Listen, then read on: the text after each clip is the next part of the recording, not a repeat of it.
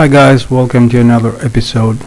Today we're gonna be fixing my old, um, and this is uh, really my old um, Walkman, um, an F31 from 1987. And don't rush to um, ask me which grade that was, but I used to have this uh, at school. Now it's been like 20 more years plus. And uh, I just uh, thought uh, I should give it a try. The only thing for sure is that um, the belt um, will uh, must be replaced, and I know I don't know what else um, um uh, needs to be done. But uh, we can investigate this together and attempt a repair. because I used to love this, and I still love this device. I'm not the guy that uh, throws away stuff. And um, yeah it reminds me of my childhood. And um, um, I'll do whatever if possible to make it work. Now apart from the belt uh, we'll see what else is needed for, for the time being. I'm gonna place uh, fresh batteries and um, try to see at least if the uh, radio works. So this will give me an indication that uh, at least uh, there is power uh, going through the circuit and um, we have chances. Um, the, uh, if I try to see the um, tape motor is not working so uh, let's see if the radio works. The least I can do for now is first test and it's gonna be this so let me grab my uh, headphones and try to listen to radio the least I can do. Um, and this if this works then we know there is power around the uh, circuit. And if I can listen to some radio stations um, yeah um, we're having um, a working um, circuit. The least I can do is this now play and the rest uh, are dead. And it's probably because of it, it's a natural thing because um, the belt must have uh, been cut inside. We'll see this uh, we'll check this later. The the bad thing is there is no sound coming from the radio. So I think I should open it up and check because several things are going wrong here obviously Right.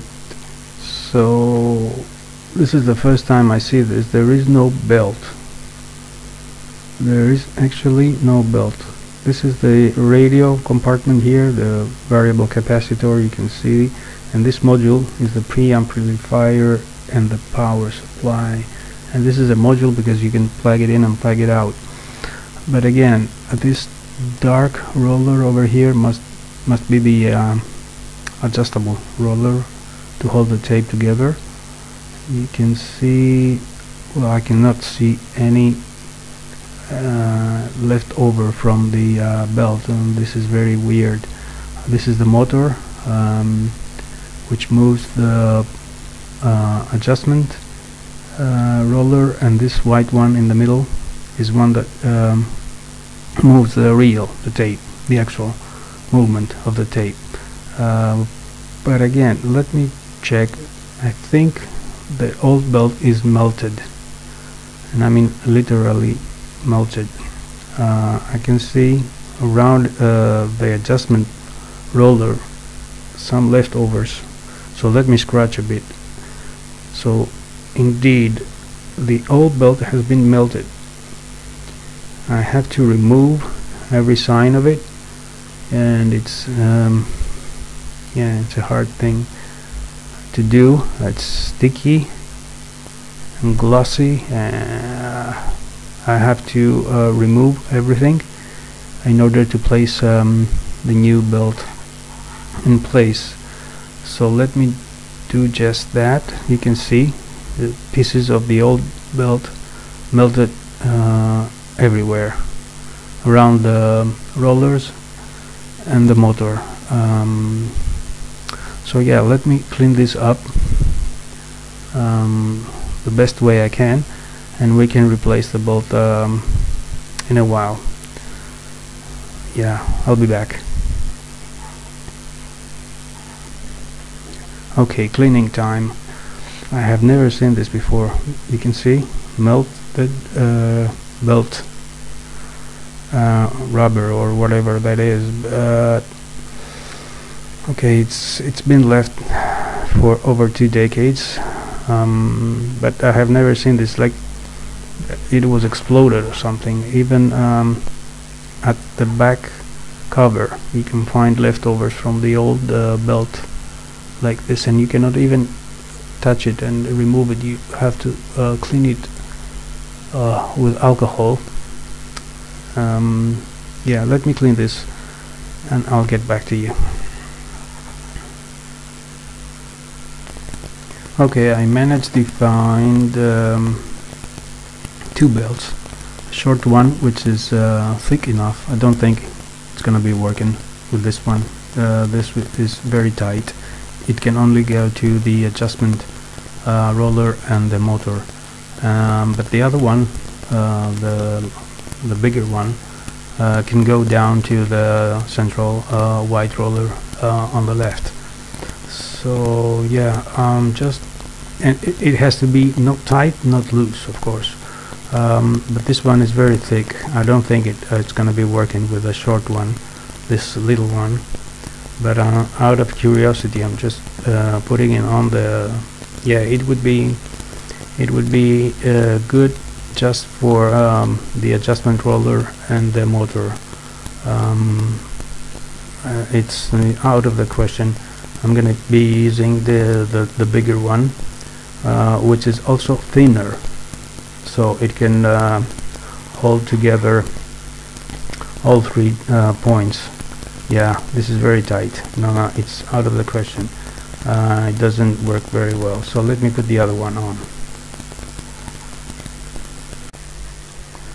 Now we're going to investigate why uh, there was no sound and no radio signal in the beginning. This is the preamp amplifier and the power module down here. The belt is in place. You can see all um, three rollers uh, actually two rollers and the motor.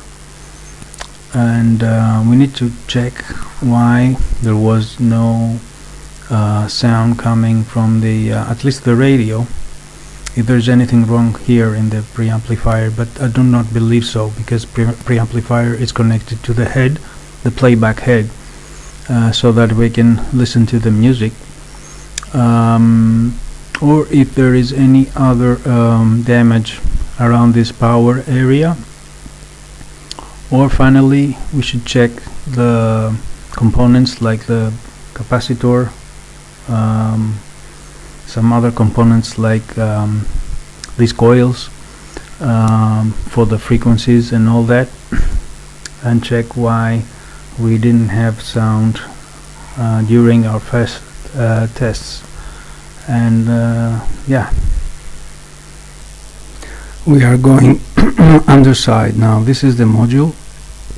It's uh, pluggable um, the preamp and the power and uh, here we found another issue which is a major damage. There is a ribbon cable from the head the playback head to the preamp uh, before the preamp um, uh, circuit uh, that goes into the main board. And those three ribbon cables have been cut or damaged or uh, whatever. So I need to cut it right next to some somewhere somewhere right next to the head and replace those ribbons. Don't say anything about my uh, testing speaker here.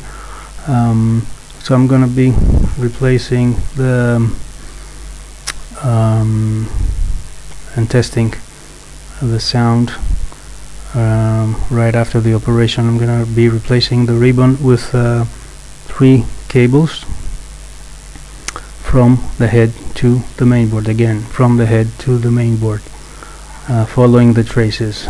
So um, let's see if I can do just that. And uh, solder the uh, cables and uh, bypass the ribbon.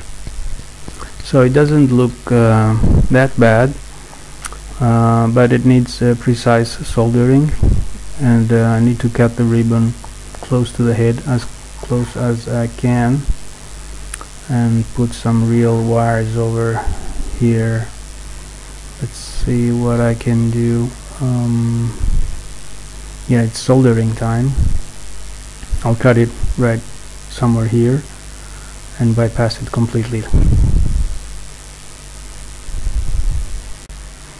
Now skipping the soldering boring uh, stage you can see the red brown and white cables um, instead of the ribbon um, soldered onto the main board. And on the other side um, at the back of the playback head um, and the ribbon was cut. Um, so let's let's uh, test it out and see if it works.